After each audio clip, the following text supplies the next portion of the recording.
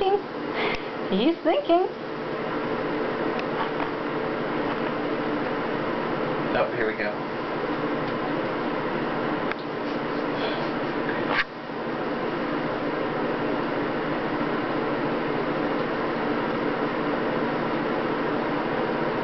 As you can tell, he's sinking his head lower and lower.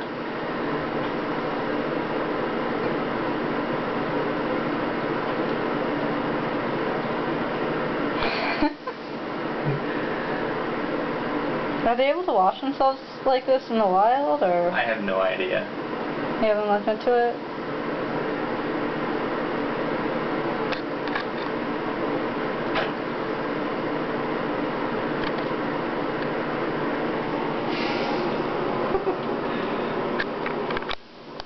But yeah, he is like swimming a couple inches under the water.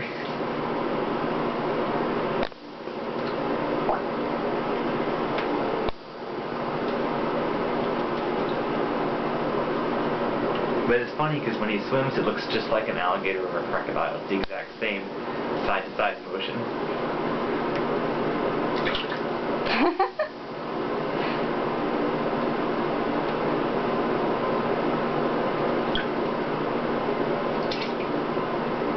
I think he's actually trying to scratch his face to get some of the shedding skin off. Oh, poor That's why I'm trying to give him more frequent baths since I know he's shedding.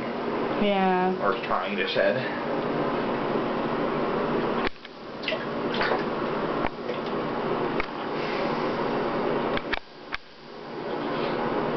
Poor little guy.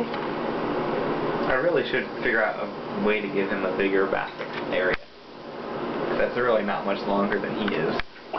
Well, would you be able to just uh, put him in the normal bathtub and just fill it up if you it's want kind to? of dirty. Uh, well, you could clean your bath, you know. Yeah, no, I need to. Yeah. I mean, aw. I think he got his face there.